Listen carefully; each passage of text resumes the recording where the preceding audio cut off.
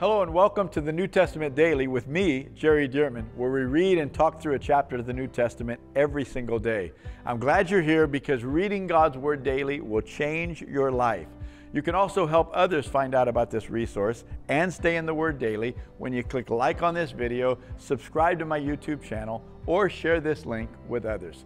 So let's pray and then we'll jump into God's Word. Father, thank you so much for the precious, written, inspired, living Word of God. And I pray that by the Holy Spirit, each of us would hear exactly what you want to say to us. In Jesus' name, amen. Okay, here we go. First Peter chapter 5. And here's what the, uh, the Holy Spirit said through the Apostle Peter. That's more accurate than what Peter said. Here we go. The elders who are among you, I exhort, I, who am a fellow elder and a witness of the sufferings of Christ, and also a partaker of the glory that will be revealed. Now, before I go on to verse 2, which is a very famous portion of Scripture, notice this the elders who are among you, I exhort. The elders who are among you. Remember, he's writing to the people of the dispersion, and he listed off Pontus and Cappadocia and all these places that we know is Asia Minor. It was, it's a portion of modern day Turkey. And he's saying, I want to speak a word now to the elders who are among you, those who are of the mature, those who are recognized as leaders among you. The elders who are among you, I exhort. I want to encourage you, elders, stick with it. And then he goes on to say, I, who am a fellow elder and a witness of the sufferings of Christ. What's interesting is, you know, we always think about and talk about what the Bible says about being witnesses of the resurrection. But notice Peter has emphasized several times here in this book the sufferings of Christ, that it's an important part of the gospel that Jesus suffered for us. He suffered to get the message to us. He suffered to get salvation to us. And the reason that's important in this particular letter, among others, is that Peter's writing to people who are suffering because they're Christians. They're suffering persecution. And Peter is saying, You're in good company because since Jesus brought this gospel to this perverse, wicked world in the first place, he suffered and you're suffering because you're a part of the sufferings of Christ. So he said, I'm a witness. I was with him in his earthly ministry. I'm a witness to the sufferings of Christ. And he says, and also a partaker of the glory that will be revealed. So I, whom a fellow elder and a witness of the sufferings of Christ, and also a partaker of the glory that will be revealed. So on the other side of our sufferings for being Christians, for having a testimony, for staying true and faithful to the Word of God, on the other side of those sufferings, there is glory, there is reward, there is the prize for the upward call of God in Christ Jesus, Paul talked about, and Peter's mentioning that same thing. Now, watch this. He's still talking to the elders. We would call them pastors, leaders. But here's what he says, verse 2 to the elders Shepherd the flock of God, which is among you, serving as overseers. Shepherd the flock of God. Shepherd them. Shepherd the flock of God. All these people that I'm writing to, all these people who are among you that who are believers, they're the flock of God. Shepherd the flock of God, which is among you, serving as overseers, not by compulsion, but willingly don't serve because people pressure you to do it and you, should do it. Why don't you do it? No, but willingly serve as overseers, not for dishonest gain, but eagerly. Don't do it to try to take advantage of people. Well, if I hold this position, then I can get better business deals with different people. And no, not for dishonest gain, but eagerly, eagerly serve in this position nor as being lords over those entrusted to you, but being examples to the flock. This is Peter rehearsing what he learned from Jesus. Jesus said, The Gentiles lord it over people. He said, But it won't be so among you. You're going to, the greatest among you will be the servant. Do you remember this? Now, Peter, uh, some 30 to 33 or so years after Jesus died and was raised from the dead, now he's still preaching these same truths. Do you remember Jesus said in the Great Commission, Go make disciples. And he went on to say, teaching them to obey those things I've commanded you. Here, 30 some years later, Peter's still teaching those things that Jesus commanded him. Okay, so be not uh, not being lords over them entrusted you, but being examples to the flock. And watch this, verse 4 and when the chief shepherd appears, capital C, capital S, when the chief shepherd appears, who is that? Well, that's Jesus. He is the chief shepherd of the flock of God, the body of Christ. When the chief shepherd appears, you, you elders, you overseers, you who willingly served as examples, not in uh, uh, dominion, like dominating people, controlling people, um, uh, dishonestly extracting wealth from people. No. He said, humble, willing, serving shepherds. He said, when the chief shepherd appears, you will receive the crown of glory that does not fade away you will receive the crown of glory that does not fade away. That crown will be your crown for all of eternity for doing this right now. Boy, I tell you, that's a, that's a long term reward for a short term assignment. Our time on earth is so short compared to eternity. Verse 5 Likewise, you younger people, submit yourselves to your elders. So he was talking to the elders. Now he's talking to the younger people. You younger people, submit yourselves to your elders. Yes, all of you be submissive to one another and be clothed with humility. So, this is similar to what Paul said in Ephesians chapter 5. I believe it's the maybe 20, 20th verse or so, where he says, submitting yourselves to one another. Submitting yourselves to one another, maybe 21st verse. But here, Peter says, All of you be submissive to one another and be clothed with humility. Oh, may we all be clothed with humility, not pride. We're here to serve each other and bless each other. So it says, and be clothed with humility, for, watch this, and he quotes, for God resists the proud, but gives grace to the humble. And we hit this in the book of James because James also quoted this. But notice, God resists the proud. God is not passive toward the proud. He doesn't merely ignore the proud. No. He resists the proud. God actively resists the proud. Let me tell you, folks, if God is resisting you, there's no sense pushing harder you're not going to push God down. You're not going to push him out of the way. God resists the proud, but gives grace to the humble. The only way to deal with being resisted by God for your pride is to humble yourself. That's the only way. You're not going to you're not going to overcome God. That's for sure. But notice he gives grace to the humble. In other words, if you're humble, he'll help you. He'll add his supernatural power to support you.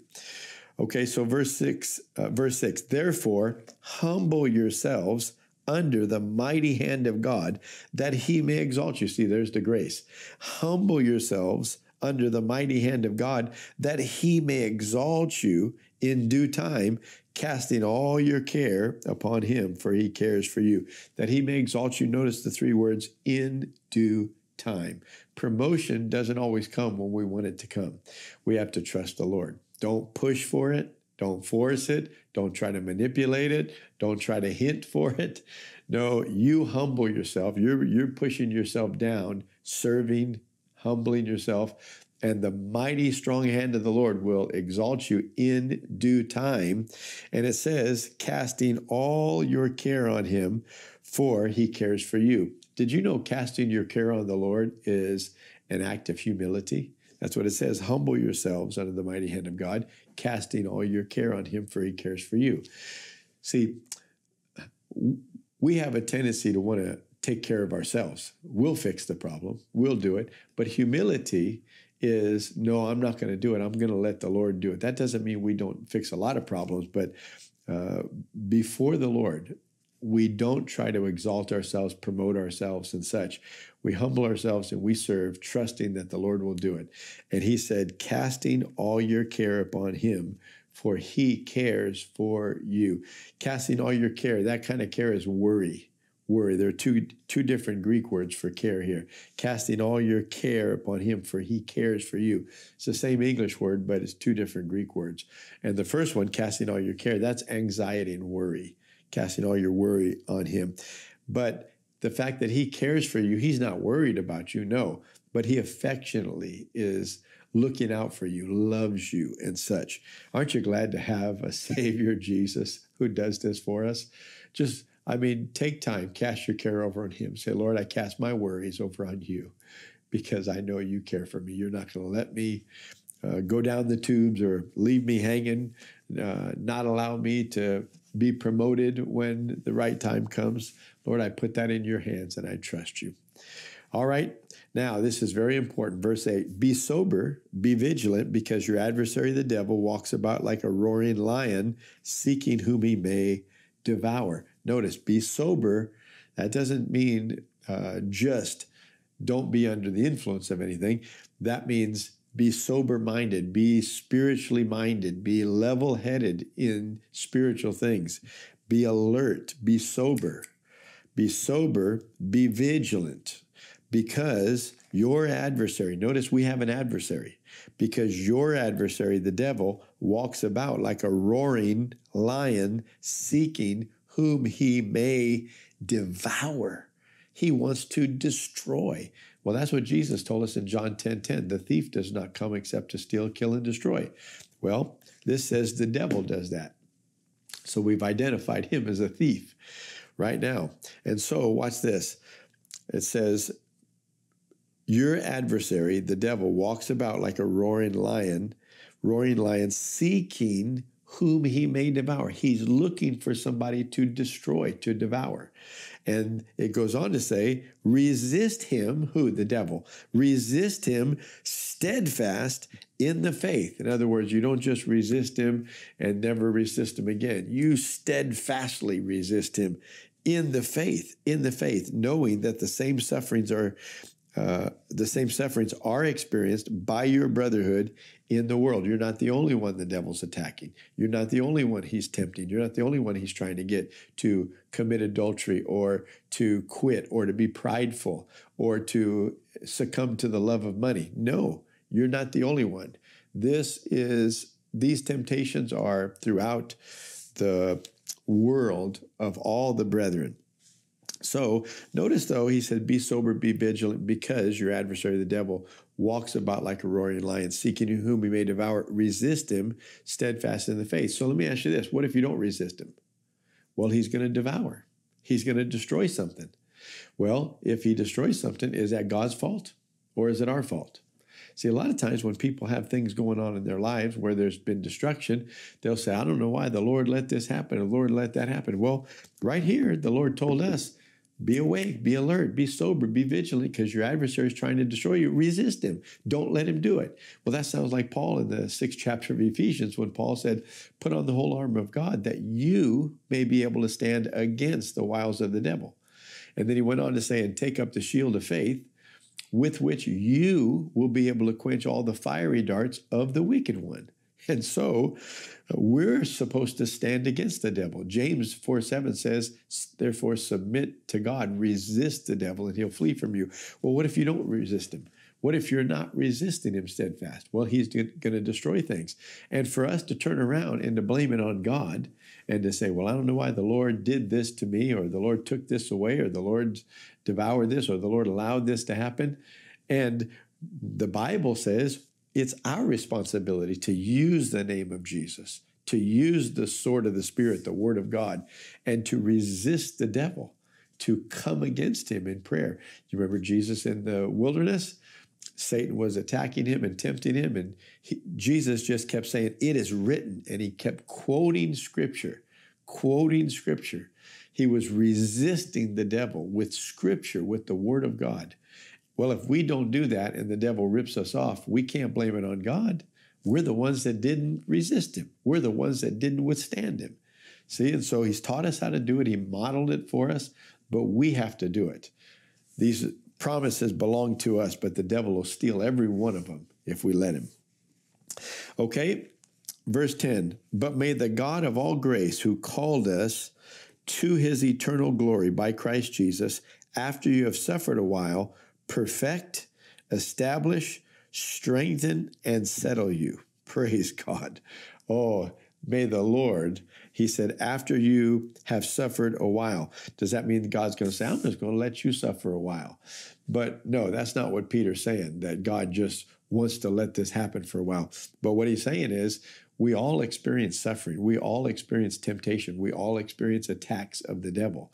But he's saying, May the Lord, he's praying for us, may the Lord who sees this suffering, may he comfort you and may he establish you, strengthen you, settle you. In other words, he come right in there and give you what it takes so that you don't succumb to the enemy. This reminds me of what Jesus said to Peter. He said, Simon, Simon, Satan has asked for you that he might sift you like wheat, which, by the way, is another indicator that Peter was the number one apostle because Satan asked for Peter by name that he might have the ability to sift him like wheat. He wanted to do to Peter what uh, he was allowed to do to Job. And Jesus said to Peter, But I prayed for you that your faith would not fail. in other words, you resist him and you won't let that happen. See, so he'd been given authority. Uh, he was being given the authority in the name of Jesus. And so it was up to Peter now to use that authority to not let that happen. So Jesus said, I prayed for you, Peter, that your faith would not fail. Well, it goes on to say, May God do these things to him, verse 11, be the glory and the dominion forever and ever. Amen. By Silvanus, our faithful brother, as I consider him, I have written to you briefly, exhorting and testifying that this is the true grace of God in which you stand.